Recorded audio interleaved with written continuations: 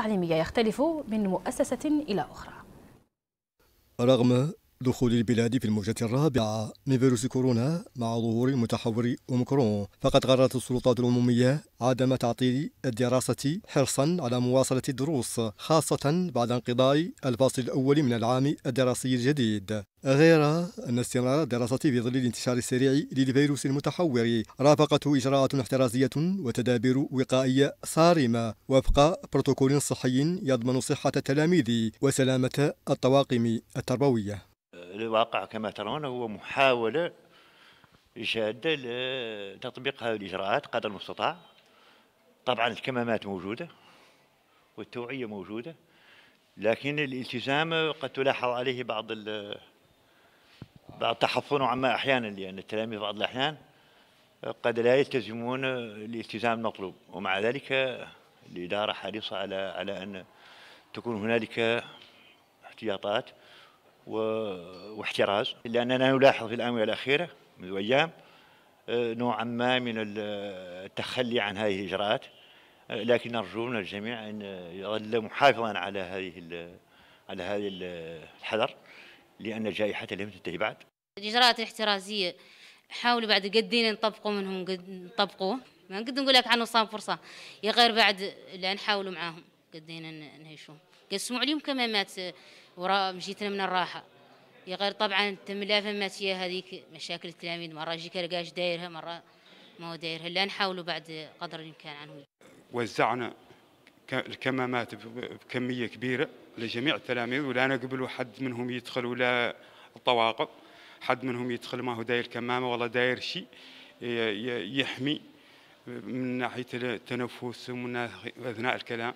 وبالنسبة قضيه التباعد دائما نحث عليها التلاميذ نحاولوا على أنهم ما تعود الفصول مكتظة حتى رغم أنها فهم الاكتظاظ يا غير كل التلميذيين يعودوا طابه ونقول لهم على أنهم دائما يحافظوا على ذيك المسافة الممكنة اللي تجعلهم ما فيهم حد يقدر الآخر داخل الفصول الدراسية وفي المؤسسات التعليمية بشكل عام يتباين تطبيق البروتوكول الصحي بين مؤسسة وأخرى ومن فصل لآخر وذلك من حيث التقيد بوضع الكمامة واحترام مسافة التباعد الاجتماعي وتقليص عدد الاستراحات بين الحصص منع التزاحم فضلا عن تعقيم المدرسة ووجود أجهزة قياس درجة الحرارة قبل دخول التلاميذ إلى باحة المؤسسة التعليمية. نحن واحد منا شارين يجي يدخل يجير كمامة ويصقر يجي سابق يجير كمامة ويجيرها ويدخل المدرسة يدخل القسم بعض تبعد الاجتماعي طاولة يدخلوا في قعدوا في الاثنين إجراءات الاحترازية إن شاء الله وأنا مطبقينها ان شاء الله. ما يخش حد إن شاء الله القسم يكون معقم يجي وداير كمامة يقعد ما داير يصعه طاولة ما يقعدوا فيها يكون اثنين إن شاء الله. يسمون الأقسام كاملين وبدوا لهم الكمامات وقالوا كل حد يحتفظ بكمامته. خالقين وحدين ينساوها. بينا ما نطاب إليه قلنا قاعد تقلق نفسه أما بالنسبة لي كانت تقلق نفسي ولكن طاب اليها غير بعد الله حاولت نهيشي بين نفسي. الحمد لله طاب اليها وات أتقى زين عندي حتى. ياسر من تلاميذهم مستهزئين بالإجراءات الاحترازية.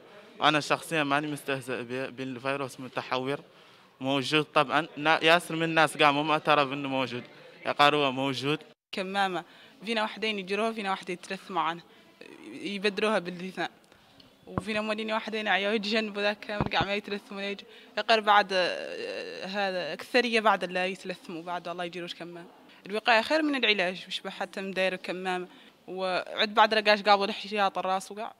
من ناحية الوعي بإن نحن في مرحلة قاعدين نعودوا واعيين حتى ما نعودوا نحن نفرقوا بين نحن ذو نقرا والناس اللي ما تقرا مع ما يلاحظ من تقيد تام بالإجراءات الوقائية أو تراخ في تطبيقها من مؤسسة تعليمية إلى أخرى ومن تلميذ إلى آخر فإن الالتزام التام بتلك التدابير الوقائية يبقى الوسيلة الأنجع لتوفير بيئة تعليمية صحية للتلاميذ وطواقم التدريس خلال اليوم الدراسي تحميهم من خطر الفيروس وتبقيهم في أمان من تداعياته الخطيرة.